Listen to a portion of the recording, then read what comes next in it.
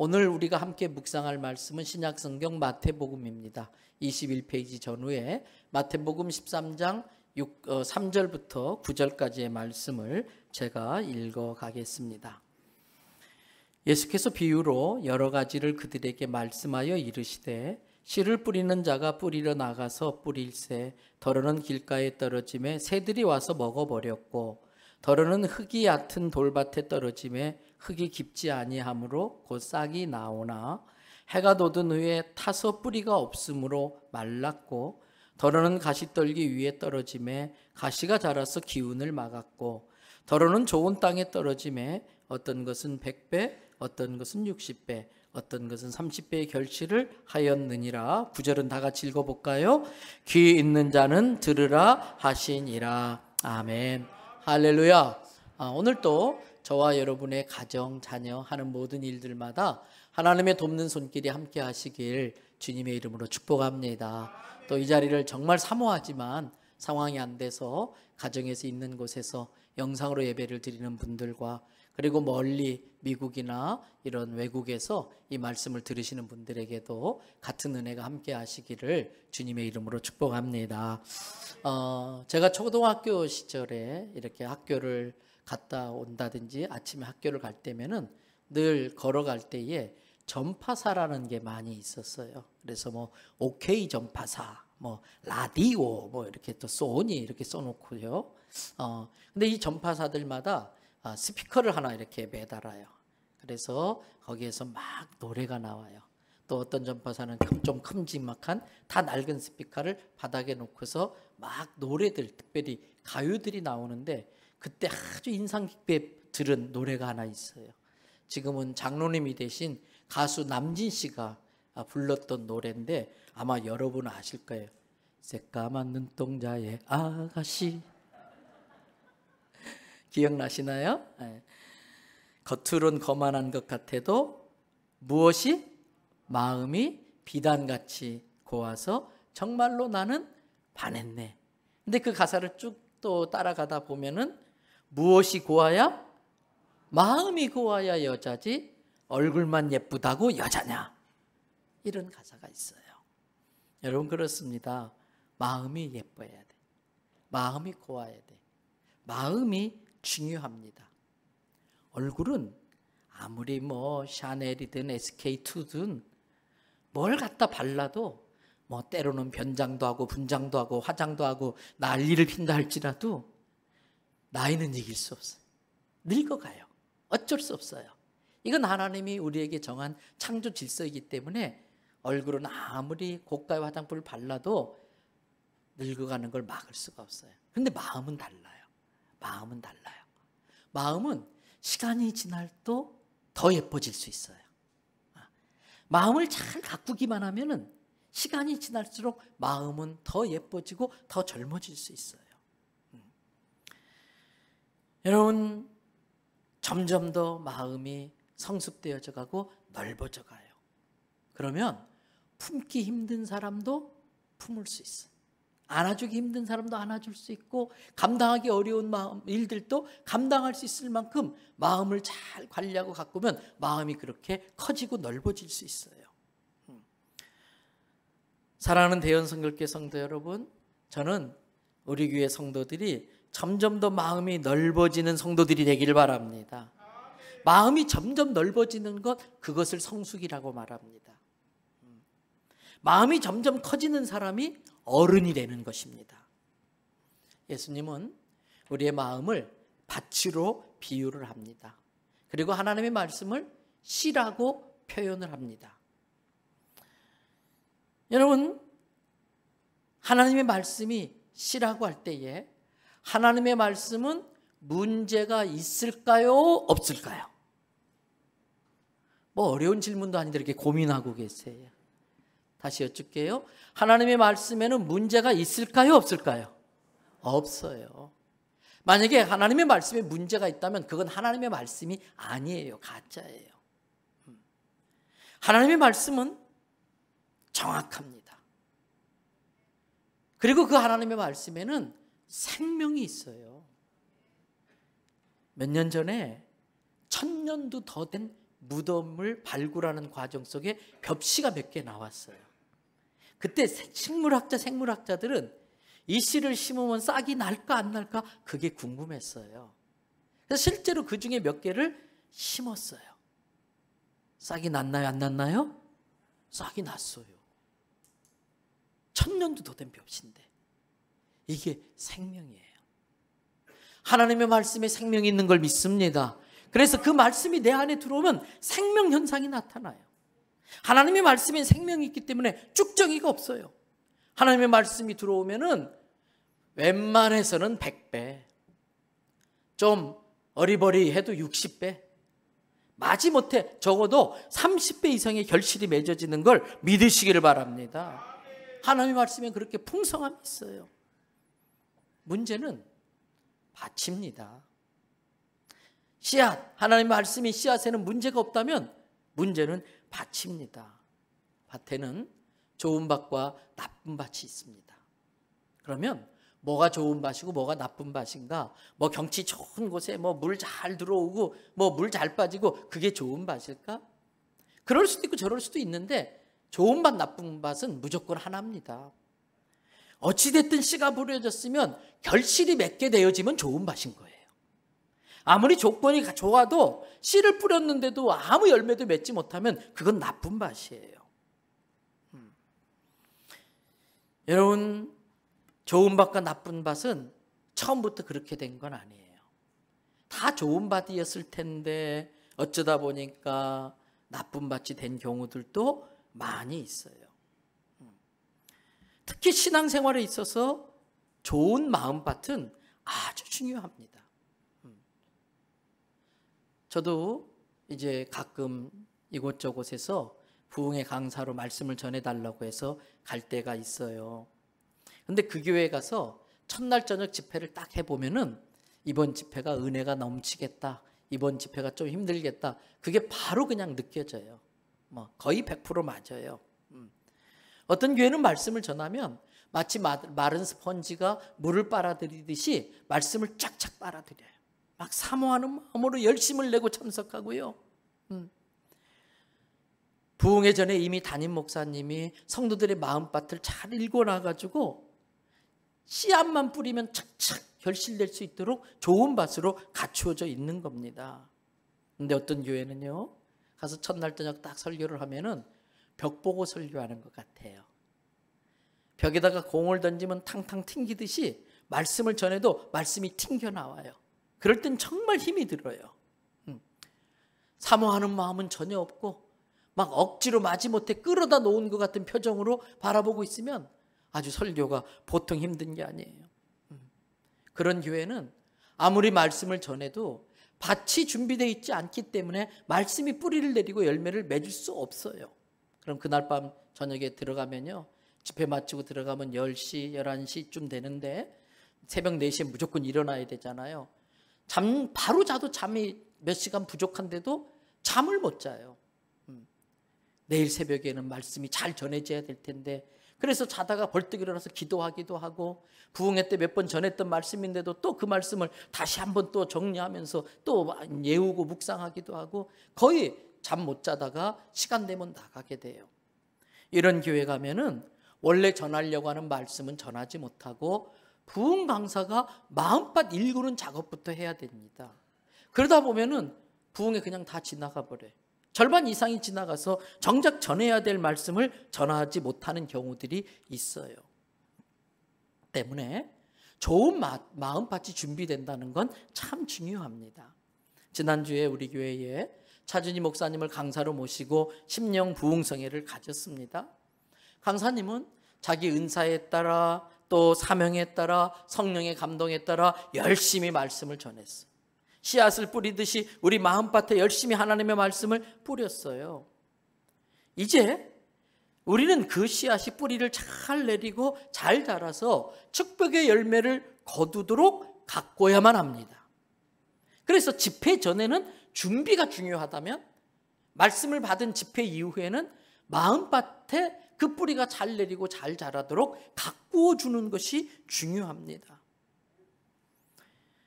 여러분 가끔 사막에 아무것도 살 수 없을 것 같은데 거기에도 식물이 자랍니까 안 자랍니까? 자라더라고요. 음. 어떻게 그 식물이 그 척박한 땅에서 말라 죽지 않고 자랄 수 있을까? 이유가 있습니다. 그 답은 뿌리에 있습니다. 뿌리에. 사막에서 자라는 식물들의 대부분은 그 높이가 1m 이상 자라기가 어렵다고 합니다. 음. 그런데 겉으로 땅 위에 올라온 건 1m밖에 안 되지만 그 나무의 뿌리를 파악하다 보면요. 수십 미터, 수백 미터까지 뿌리가 쫙 퍼져 있어요. 그래서 위로, 비로는 수분을 공급받지 못해도 오히려 계속 이파리를 통해서 수분이 날아가기 때문에 스스로 스스로 대책을 강구하다가 사마귀는 이파리가 쪼그라들어서 가시 모양을 갖는 경우들이 많이 있어요. 그래도 수분은 필요하니까 그 깊은 곳에 뿌리를 내려서 물기를 빨아들이고 있기 때문에 생존할 수 있는 것입니다. 우리의 삶도 마찬가지입니다. 모두 다 평탄한 인생 없어요. 다 사막 같은 삶을 삽니다. 음. 흉년을 만나서 한 방울의 물이 귀하게 느껴지는 인생을 살고 있는 사람들이 우리 교회 안에도 있습니다. 그럴 때 살아남는 비결은 하나밖에 없어요. 하나님의 은혜 가운데 하나님의 은혜가 임하도록 뿌리를 깊이 내려서 하나님이 공급해 주시는 힘으로 그 광야 같은 인생, 그 사막 같은 삶을 헤쳐 나가야 할 줄로 믿습니다. 오늘 본문은 예수님이 비유로 해 주신 이야기예요. 소위 말하는 씨 뿌리는 비유예요. 음. 이 비유를 통해서 우리가 먼저 깨달아야 될 것이 있습니다. 씨는 문제가 없지만 밭에 따라 그 결과는 완전히 달라진다는 거예요. 하나님의 말씀이 씨라고 했기 때문에 씨에는 문제가 없어요. 그런데 그 결과는 엄청 차이가 나요. 꽝! 아무것도 결실 못하는 사람이 있고 똑같은 시간 똑같은 장소에서 똑같은 목사의 설교를 듣는데도 어떤 사람은 100배의 은혜를 받는데 어떤 사람은 60배, 30배 아, 그거마저도 못 받는 사람이 있을 수 있다는 걸 우리는 알아야 됩니다. 그러므로 우리가 정말 하나님이 주신 은혜를 나의 축복으로 만들어서 하나님이 주신 축복을 사명 감당하며 하나님의 영광을 위해 사는 인생이 되려면 무엇보다도 말씀을 잘 들어야 됩니다. 그리고 자주 들어야 됩니다. 열심히 들어야 됩니다. 그래서 오늘 본문에서 예수님은 마태복음 13장 16절에 이렇게 말씀하세요. 그 말씀 뒷부분에 보니까 너희 귀는 무엇함으로 복이 있다? 들음으로. 우리의 귀는 하나님의 말씀을 들으라고 준 귀예요. 근데 이 귀가 들어야 될 하나님의 말씀은 듣지 않고 엉뚱한 소리만 듣고 다니는 거예요. 그 엉뚱한 소리 속에는 부정적인 이야기, 원수 마귀의 공갈, 협박, 유혹, 우리 인생을 망치는 것들이 얼마나 많이 떠도는지 모르는데 안테나 주파수를 쫙 맞추면 그 주파수에 맞는 소리만 딱 라디오에 나오는 것처럼 우리는 영적 안테나를 예민하게 해서 하나님의 말씀에 맞춰야 할 줄로 믿습니다. 하나님의 말씀에 주파수가 맞춰서 듣는 그 귀가 복이 있는 거예요. 그래서 오늘 본문 마태복음 13장 9절에도 나옵니다마는 예수님은 말씀을 전할 때 마칠 때마다 늘 같은 말씀을 하셨어요. 9절에도 그렇고 43절에도 그렇고 그 뒤도 가보면은 예수님이 꼭 하신 말씀이 있어요. 같이 한번 읽어볼까요? 귀 있는 자는 들으라 하시니라. 나는 선포했다. 근데 육신의 귀만 있는 사람은 안 된다. 영적인 안테나, 영적인 귀를 쫑긋 세워서 하나님의 말씀을 듣는 자는 복이 있는 줄로 믿습니다. 음. 그리고 이제 그렇게 들은 말씀이 내 마음밭에서 뿌리 잘 내리고 열매 맺을 수 있도록 마음밭을 가꾸는 일이 그 다음에 우리가 할 일이에요. 우리의 마음밭은 얼마든지 바뀔 수 있어요.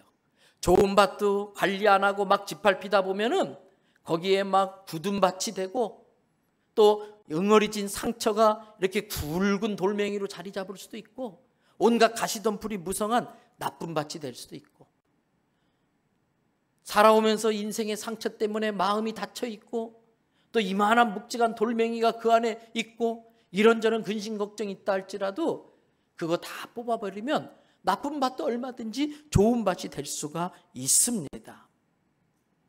오늘 예수님은 네 가지 밭을 우리에게 소개해 주고 있어요. 그 중에 첫 번째가 길가입니다. 길가밭. 여러분, 길이 아니고 길가밭이에요.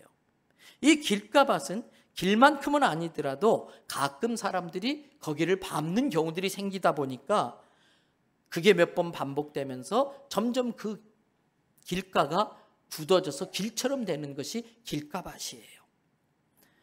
그런데 이 길가밭에 씨가 뿌려질 때가 있어요. 유대인들은 씨앗을 담은 자루를 낙이 등에다 싣고 양쪽에 구멍을 냅니다. 그리고 이리야 이렇게 보내면은 씨앗이 밭에 떨어지는데 그러다 보니까 길 옆에 길가밭에 뿌려지는 경우도 있는데 그럴 때는요. 이 좋은 밭에 이게 흙 속에 씨앗이 묻혀야 되는데 길가밭은 굳어가지고 딱딱하니까 씨앗이 묻히지 않고 그냥 눈에 띄니까 바로 새들이 날라와요. 바로 다 쬐어가는 거예요. 음. 이런 사람들은 하나님의 말씀에 대해 다른 사람의 말에 대해서 마음이 꽉 닫혀 있는 사람을 말합니다.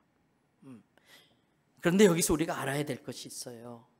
그런 사람들은 자기 고집과 교만에 마음이 딱 닫혀 있고 굉장히 강한 것처럼 보이려고 애를 씁니다. 근데 그런 사람들이 실은 처음부터 그런 건 아니었었어요. 음. 처음부터 그렇게 굳은 마음이 아니었었는데 인생을 살다 보니까 심지어 교회 안에서도 신앙생활을 하다가 가끔 누군가가 내 마음을 짓밟을 때가 있어요. 내가 너무 아파요. 그만 밟아요. 막 호소를 하는데도 무시하고 그냥 짓밟아 버리는 경우들이 있어요. 세상에서도 그렇고 교회에서도 그래요. 그러다 보니까 이 사람은 자기의 부드러운 마음이 더 이상 다치고 싶지 않으니까 겉을 단단하게 만들려고 애를 써요. 더 이상 들어오지 못하게. 예. 그런데 그런 사람들은 누군가가 그 사람을 꼭 안아주고 눈물을 많이 흘리는 기도를 해주면 그 굳은 밭이 촉촉이 적셔져요. 그리고 호미로 살살살살 이렇게 격려해주고 칭찬해주고 위로해주면 마음밭이 보들보들하게 바뀌어요. 너 왜 그랬어? 어떻게 그럴 수 있어? 지적하고 막 야단치고 나무라면 나무랄수록 그런 사람들은 마음을 굳게 닫아요. 열지를 않아요. 음. 여러분 그래서 좋은 교회는 아, 저 사람이 원래 저랬지 않았는데 자기가 다 더 이상 다치고 싶지 않아서 저렇게 강한 척 하는구나. 그런 사람을 찾아가서 같이 차도 마시고 밥도 먹고 이런저런 이야기를 하고 때로는 손잡고 같이 울어주고 내가 집사님 위해서 기도해 줄게요. 그리고 새벽에 나와서 눈물로 막 기도하다 주면 기도해 주다 보면 어느새 그 마음이 싹 풀려요. 그 굳은 게 다 거두어지고 나면 그때부터 말씀이 그 마음 속에 들어가는 거예요. 두 번째 밭이 있어요. 돌밭이에요. 이 돌밭은 팔레스틴 지역은 석회암 지형입니다. 그래서 대부분이 석회암인데 바람에 의해서 흙이 날라다가 쌓이기 시작하면 그 석회암 돌 위에 흙이 쫙 덮여지면 얼핏 보면 좋은 밭 같아요. 흙이 덮인 밭 같아요. 그래서 씨를 뿌려요. 그런데 흙이 얇고 그 밑에는 바로 돌이 있다 보니까 바위가 있다 보니까 빨리 이게 데펴지는 거예요. 그러니까 이 씨앗이 싹도 잘 나요. 온기가 딱 맞춰지니까. 그래서 뿌리를 내리려 착 하는데 조금만 내려가다 보니까 뭐가 있어요? 돌이 있는 거예요. 바위가 있는 거예요. 그러니까 뿌리가 오히려 그 바위의 따뜻한 열기 때문에 말라버려 가지고 자라질 못하고 그냥 죽는 거예요. 여러분 이런 사람들이 교회 안에도 있어요. 이런 사람들은 겉으로는 굉장히 친절해요. 굉장히 부드러워요. 어, 아주 참 좋은 사람처럼 보여져요. 그러나 그 내면에는 이만한 돌멩이 하나가 감추어져 있어요. 근데 그 돌멩이는 처음부터 생겼던 것들이 아니라 인생을 살아가면서 이런저런 상처 때문에 그것이 쌓이고 쌓이고 오랜 세월 치다 보니까 응어리로 자리 잡게 된 거예요. 음, 응어리로. 근데 이런 사람들의 특징은 척을 잘해요. 마음은 기쁘지 않은데도 분위기 따라서 기뻐하는 척. 별로 좋아하는 것도 없는데 분위기 맞춰주려고 좋아하는 척. 그러면서 자기 속으로는 감추어진 꿍한 응어리진 것들이 돌멩이 이만한 게 있는 거예요. 이런 사람들은 신앙이 잘하질 않아요.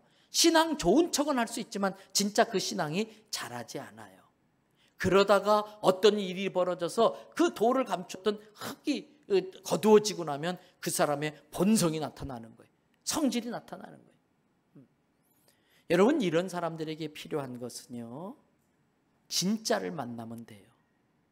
그렇게 된 것은 너무 많이 속아서 그래요. 가짜 그리스도인들한테 상처를 너무 많이 받아서 그렇습니다.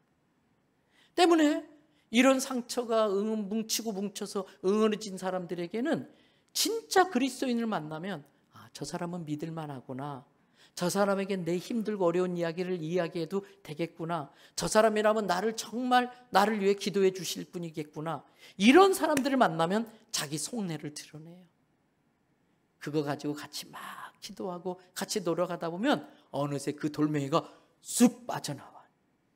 얼마나 좋은 사람이 되는지 몰라요. 여러분, 저는 우리 대연 성결교회 진짜 그리스도인들이 많아지길 바랍니다. 음. 마음이 아주 넓어서 겉으로는 단단히 굳어 있지만 속으로는 여린 사람을 잘 깨뚫어 보고 그 사람을 꼭 안아가지고 그 굳은 마음을 녹여주는 사람도 있어야 되고요.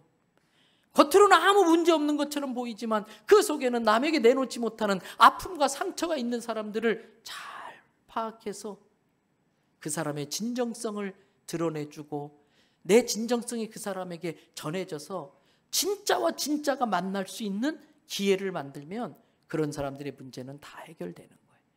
저는 우리 교회에 그런 일을 하는 사람들이 많이 생겨나기를 바랍니다. 세 번째 예수님이 하신 밭의 이야기는 가시밭이에요. 그런데 길가밭과 돌밭은 누가 도와줘야 돼요. 가서 눈물의 기도로 촉촉하게 만들고 사랑의 호미로 싹 그 굳은 것을 걷어내고 진짜 그리스도의 사랑을 가지고 그 사람을 품어서 속에 있는 상처를 들추어내고 같이 해결해 주는 것은 누군가 도와줘야 돼. 근데 내 속에 가시가 있는 가시 덤불밭은 자기가 해결해야 돼. 자기가 해결해야 돼. 음. 여러분, 팔레스틴 농부들은 좀 게으르다라고 말을 하는데 그런 실은 그게 게으른 것 아니에요. 우리가 자칫 잘못하면 인종차별적 발언이 될 수 있는데 동남아 같은데 며칠 여행해 보면서 그거 가지고 아는 채, 아, 이 사람들은 게을러서 국민성이 게을러서 부지런치 않아서 이렇게 가난한가 보다. 아니에요. 그 뜨거운 더위 속에서 살다 보면은 그렇게 적응될 수밖에 없어요. 만약에 우리가 여행이 아니고 그렇게 살다 보면 우리는 더 게으를 거예요. 그러니까 팔레스틴 사람들도 너무 덥고 힘드니까 이 밭에 갔다가 가시가 무성하면은 그걸 그냥 겉에만 싹둑 잘라서 태워버리고 걷다가 씨를 뿌려요. 여전히 뿌리가 깊이 박혀 있는데도 그 뿌리까지 캐내기가 힘드니까 그냥 위에만 싹 제거하고 볼 때엔 좋은 밭이니까 씨를 뿌리는 거예요. 근데 며칠 지나면요.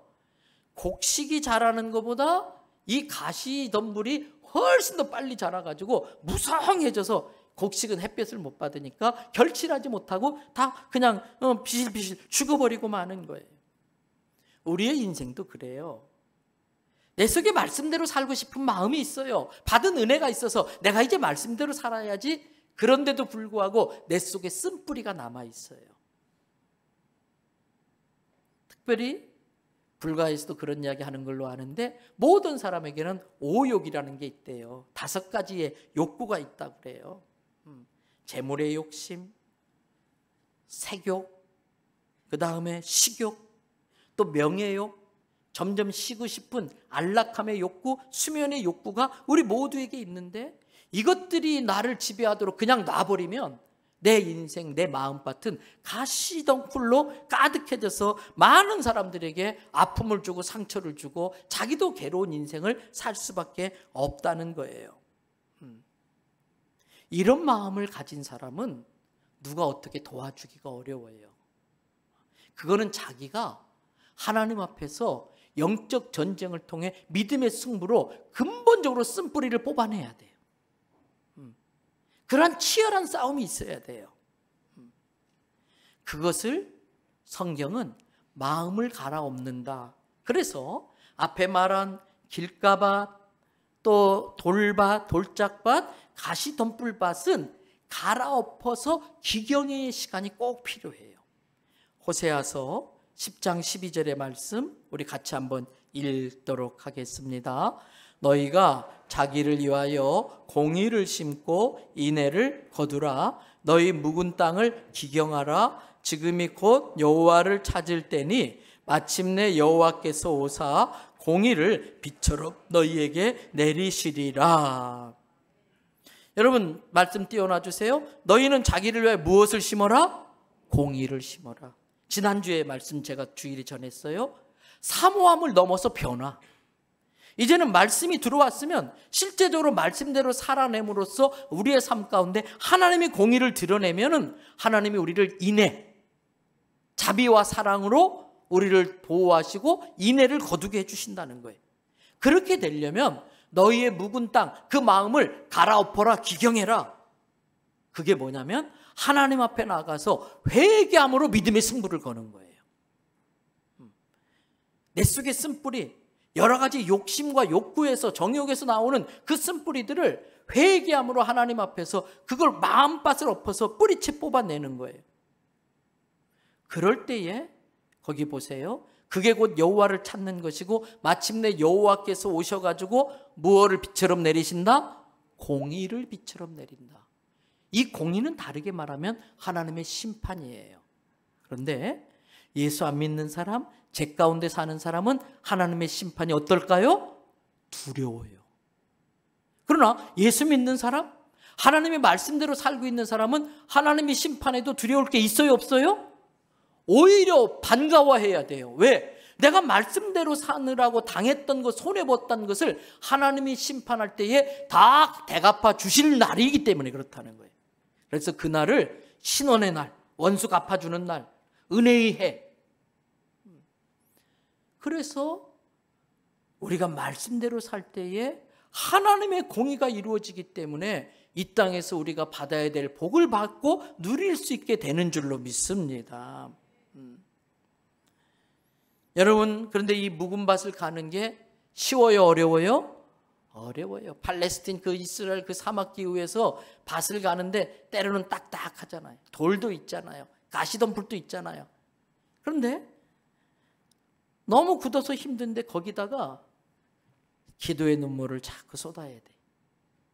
노동의 땀방울, 헌신과 봉사의 땀방울이 자꾸 스며들면 좀 굳은 땅이나 이런 곳이 좀 촉촉해져요.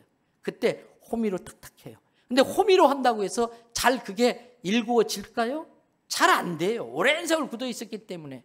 그럴 때 많은 사람이 에이 호미로 해도 안 되네. 호미로 해도 안 되네. 근데 예수 믿는 사람은 호미로 해도 안 돼? 그럼 곡괭이로 하지. 이게 신앙이에요.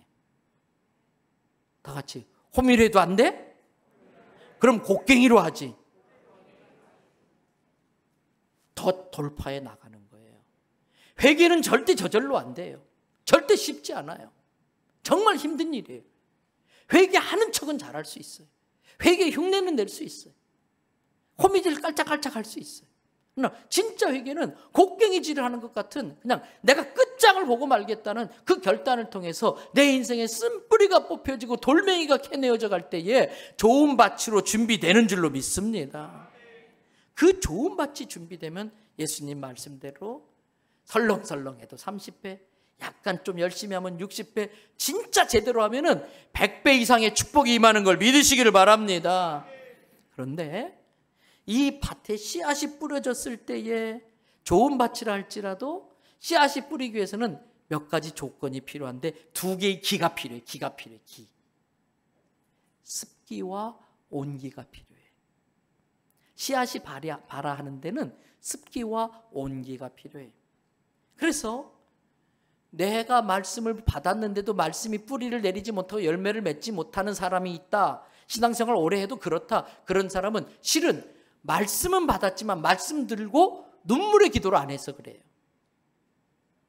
그래서 말씀을 잘 읽고 암송하고 말씀 연구 많이 하는데 기도가 안 따르면 신앙이 드라이해져요. 음, 재미가 없어요. 근데 기도는 막 열심히 하고 방언받고 은혜 받았다고 하는데 말씀의 기초가 되지 않으면 이상한 데로 갈 수가 있어요. 지멋대로 가버려요. 음. 말씀이 지도라면 기도는 기름이에요. 이 두 개가 있어야 신앙생활이 믿음의 길로 잘 갈 수 있어요. 그래서 첫 번째 기운 습기는 눈물의 기도와 봉사의 땀방울로 준비할 수 있다면 온기는 성령님이에요.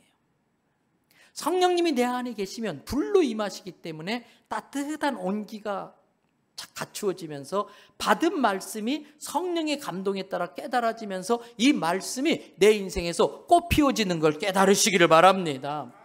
그렇게 해가지고 좋은 밭으로 습기와 기도의 습기와 헌신과 봉사의 땀방울과 성령의 열기가 딱 갖추어지면 그 밭을 파면 나오는 게 있어요. 그 밭, 그런 밭은 쫙 좋은 밭은 파면요. 항상 감사가 나와. 원망과 불평과 가시와 더 불, 돌멩이가 나오는 게 아니라 감사가 나와. 좀 더 깊이 파보면 그런 밭에는요, 믿음이 나와.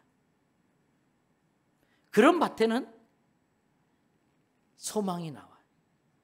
근데 그 감사와 믿음과 소망의 밑바닥까지 더 파고 들어가면 그 가장 밑바탕에 베이스가 있는데 그게 예수님 사랑이에요.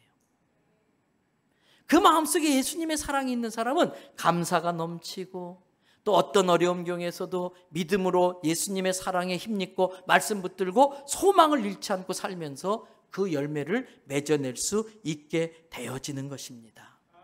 그런 사람의 인생은 이번에 부흥회 때도 강사님이 시편 1편을 가지고 신학가에 심겨진 나무에 대한 말씀을 하셨는데 같은 이야기가 에레미야 17장 8절에도 나와요. 같이 다 같이 읽어봅니다. 그는 레미야, 예, 다 같이 읽습니다. 그는 물가에 심어진 나무가 그 뿌리를 강변에 뻗치고 더위가 올지라도 두려워하지 아니하며 그 잎이 청청하며 가무는 해에도 걱정이 없고 결실이 그치지 아니함 같으리라. 여러분, 좋은 밭으로 준비되어지고 거기에 말씀이 막 들어오기 시작하면 말씀은 항상 강물을 이루어요. 말씀이 은혜가 되면 내 교회, 내 심령 가운데 은혜의 강물이 흐르기 시작합니다. 그 순간 내 인생은 강가에 심겨진 나무처럼 되는 거예요. 가뭄이 와도 겁날 게 없어요. 이 강가에서 수분과 양분을 빨아들이면서 잎사귀가 청청하고 열매가 무성히 열리게 될 줄로 믿습니다. 그리고 그 열매는 지나가는 나그네들이 따먹어요. 열매는 나무가 먹지 않고 내가 열매는 맺지만 수많은 사람들이 그 나무의 열매를 먹고 그 나무 그늘에서 쉬는 거예요. 그게 우리 그리스도인의 삶이에요. 내가 말씀대로 살 때 하나님의 은혜로 내 삶의 열매가 맺어지고 그 열매는 5천 명 먹여 살리는 오병이어의 기적의 재료가 되는 줄로 믿습니다. 그게 잘 사는 인생이고 그게 멋진 인생이에요. 그것 때문에 회사에 다니고 그것 때문에 장사하고 그것 때문에 돈 벌어야 돼요. 말씀 마칠게요. 1937년에 완공되어진 미국의 샌프란시스코에 유명한 다리가 있어요. 샌프란시스코와 그 건너편 캘리포니아주 마린이라고 하는 곳에 흐르고 있는 바다를 어, 골든 게이트 해협이라고 그래요. 그런데 루즈벨트 대통령이 1930년대 세계 대공황이 시작되자 미국 경제를 살리겠다고 어, 여러 가지 플랜을 경제 플랜을 이렇게 발표하게 되는데 그 중에 하나가 이 샌프란시스코 해협 위에 다리를 놔가지고 이렇게 하는 그것을 하게 돼요. 이걸 책임 맡은 사람이 조셉 스트라우스라는 사람인데 여러분 지금도 우리는 광안대교 몇, 몇 이렇게 지었다고 정말 난리를 쳤는데 1932년도인가 그 이 공사가 시작돼서 37년도에 완공되는 그 시절에 2,737m 이 길이의 다리를 두 개의 현수교로, 현수교로 1964년도에 더 긴 다리가 생기기까지는 세계에서 제일 긴 다리. 1988년도가 일본에서 생긴 그 현수교가 생기기 전까지는 세계에서 제일 높은 현수교를 자랑했던 이 다리를 1930년대 초반에 짓는다는 건 보통 어려운 일이 아니었었어요. 그때 책임자인 조셉 스트라우스는 건축 공학자 또 여러 가지 학자들과 도움을 받으면서 고민 고민하는데 그 빠른 물살에 이 다리를 세우기가 도저히 힘든 일이 아닌 거예요. 근데 어느 날 어떤 나무를 보고 아이디어를 얻었어요. 그 나무는 레드우드라는 나무인데 정말 그렇게 오래된 나무인지 모르지만 그 나무는 2000년 된 나무라고 그랬어요. 이 조셉 스트라우스는 이 redwood 2000년 된 나무를 가만히 관찰하다가 그 금문교 골든 게이트를 bridge를 이렇게 지으면 되겠구나 아이디어를 얻는데 그 나무에게 세 가지 특징이 있었대요. 2000년 동안 죽지 않고 살 수 있었던 비결이 있었대요. 첫째는 다른 어떤 나무보다도 뿌리가 그렇게 깊더래요. 깊은 뿌리, 큰 뿌리가 깊이 내리고 있는 거예요. 근데 그것만 가지고 부족해. 그 큰 뿌리 옆으로 잔뿌리들이 쫙 사방으로 퍼져 있는데 이 잔뿌리들이 습기가 있는 곳을 찾아 들어가서 2000년 동안 비가 안 오는 경우가 있어도 계속해서 그 잔뿌리들이 습기와 양분을 빨아들이니까 이 나무가 죽지 않고 사는 거예요. 근데 그것뿐만 아니에요.